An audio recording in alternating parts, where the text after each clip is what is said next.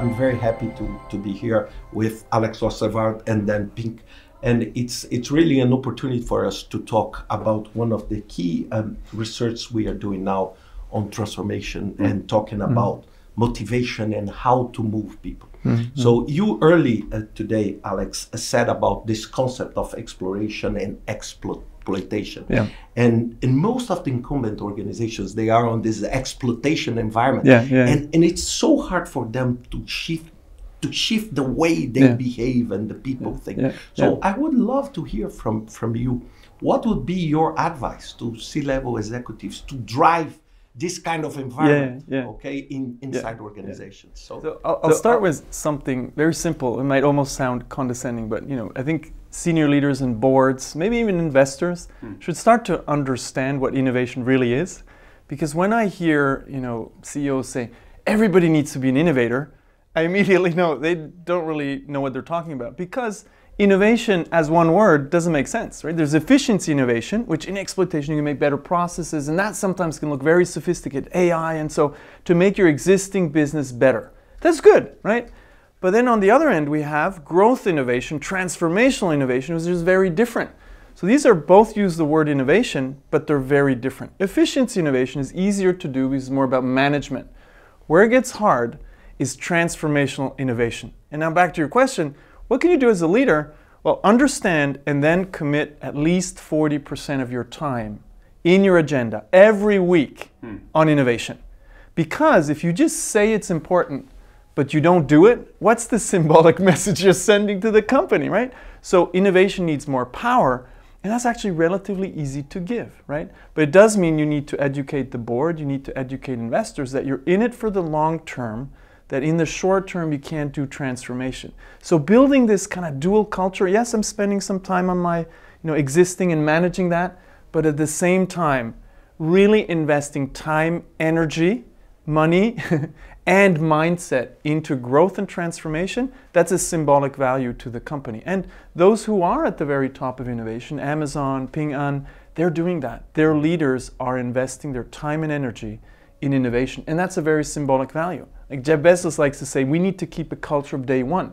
When that doesn't come from the top, guess what? Not going to happen. It's as simple as that, right? And then that comes back to motivation. if you put in place the right incentive systems for those things to, to actually take off. Walter, you, you have an amazing research on, on motivation. What, what would, would be your advice for these leaders? Well, I, I think it's not only motivation. I think, as Alex is saying, it's structural too. Um, so what, what's, what's the structure? And, I, and I, I, think at a very top level, if, you, if, we, if we go with Alex's idea of explore and, and exploit, I think that the, the, one of the fears with putting an emphasis on the explore side yeah. is that they feel like it's always coming at the expense of yeah. exploit. And I think what we need to do is say, like, we can do both of these things. Yeah. Uh, it often involves different structures. Uh, it often involves different people. Uh, and I think it also, also involves different motivational schemes. But to put time and effort and energy into exploration doesn't mean that we are going to deny yeah, the importance absolutely. of exploitation. Exactly, so I think that's exactly. at, at, a top level.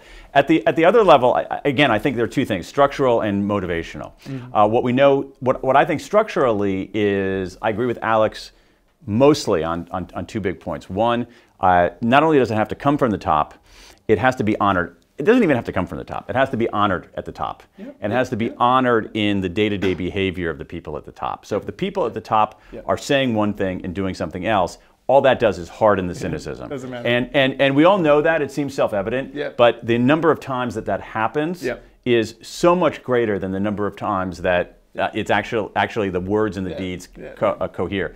The second thing is that I have become over time a bigger believer in starting small. Mm-hmm. Um, oh, and yep. and I think that instead of saying how do we become more innovative, I think the question is reframe the question. So what's one thing we can do tomorrow yep.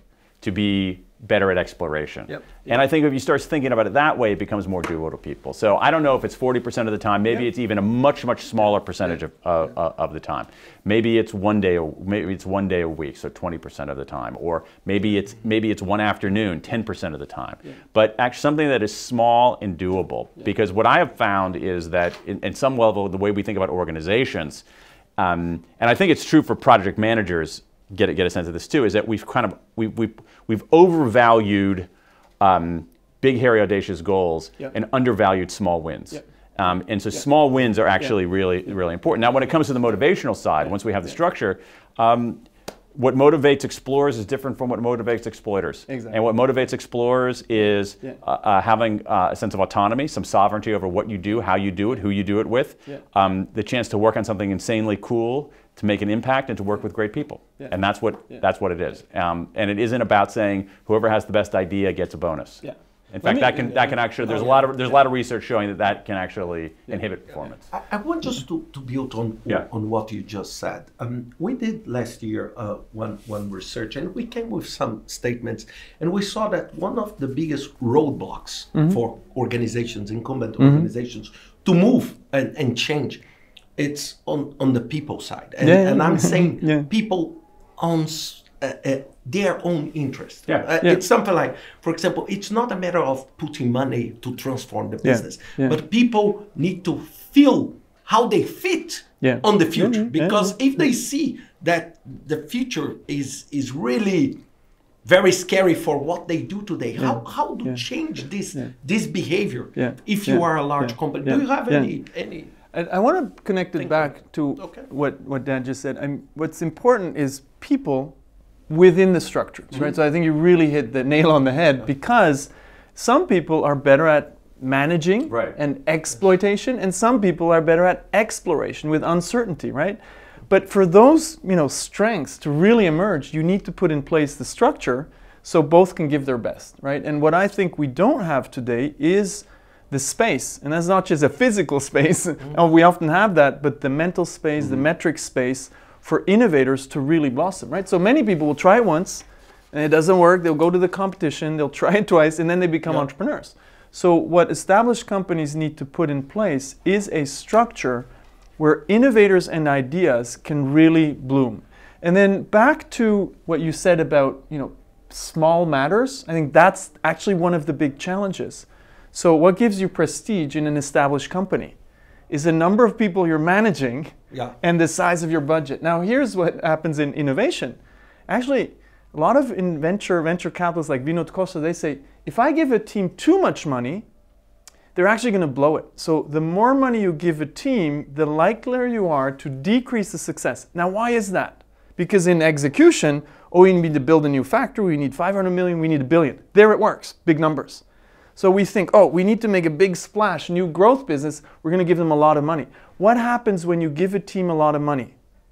They actually build the thing. Qualcomm is a good example. They built something called FLO TV beautiful idea on paper, great business plan. So they invested a lot, they built it, nobody came. Hmm. They had to fire the few customers. So in innovation, in growth innovation in particular, better off starting small with many, many projects to help those ideas that can get traction, those teams that can track, get traction, bubble up. So you need to create an ecosystem where you invest in many that. teams, yeah, mm-hmm. and small investments, and then follow-up investments. So the system will help you get the best out of people. So people matter, but people Absolutely. won't be able to matter as much if you don't put in place the structures that you were talking about, right? Well, but pe- I mean, because because people it's like everything we do in life is in context. So it's not as if we behave in a vacuum. We behave in particular contexts, and the context drives our behavior more than we're willing to admit on almost every dimension of human behavior. One of the you know it's, it's one of the core principles. It's one of the the, the chief uh, cognitive biases that human beings have, particularly human beings in the West uh, have, is uh, what's called the fundamental attribution error when we try to explain people's behavior, predict people's behavior, we overemphasize the importance of the personality, who they are, and under, under underweight the importance of the context that they're in. Mm-hmm. And so you can have people who are extremely innovative in one context who will wither in another context. So we have to think about people Excellent. in contact, the person in the in the in the situation, and and both are, and I think both are really important. And what we know about this i- is, I I think we know, I think we know actually a decent amount about all of this. do like think I think yeah, we yeah. know how to Yep. do this more Yep. or less. Uh, and Alex makes some great points. Some uh, uh, the the importance of some amount of constraints. There's a sweet spot between two something that's too constraining. Doesn't foster innovation. Something that has no constraints, lots of money, lots of people, doesn't have enough constraints. So you want some, and, and there are ways to there are ways to experiment with that. I mean, not to deify Jeff Bezos, but Jeff Bezos has this idea of you know, the, the, two pizza theory of innovation, where the number of people you want on a team is the number of people yeah. who could share two pizzas. Yeah, yeah, yeah. if you have more people than that, that's yeah. not, you know, and so I think little heuristics, little things like that are, are really important. So put the right put the right people in the right context yeah. and try stuff and keep doing what's working and stop doing what's not working. And you have to just you know, you have to, as, as Alex is saying, you have to just let a lot of, you have to let a, a lot of things, a lot of things bloom. And you also have to do it in a hard-headed way. This is not kind of a hippy-dippy idea. No. This is an idea that, whoa, wait a second, if something does bloom, yeah. wow, wait a second, this flower is actually blooming. Yeah. Let's go gather the seeds yeah. and give it to the exploiters so that we have a forest of it rather than just a single bloom. And let me build on that for a second because I think we always, when we say innovation, we think of creative genius, you know, the person who's going to be on the cover of a magazine. You know, actually when you do design, you come up with new, you know, industrial designs or architecture, you go through a training to go through a process of continuous destruction and reconfiguration yeah, yeah. until you figure it out. So there's this myth that innovation is about creative genius or creativity. There's part of that, yeah. but you know, ideas are free and cheap there is a process that we now know how it works. And we need to incentivize people in innovation to behave the right way. It's not about giving them money and say, hey, have some fun, experiment, and figure it out. There's a process of how you decrease risk and uncertainty of ideas. The more you decrease risk, the more you invest, the more traction you get. And if you invest in 20 to 40 teams every year, you will know that if they follow the process, you will get some winners it's simple portfolio theory. Right. Now, if you're too right. restrictive, right. you actually kill the creative genius, right? So you need both, but you need to figure out the right, processes, incentive systems, so you can distinguish between vision and hallucination, right? So you get the right ideas to bubble up.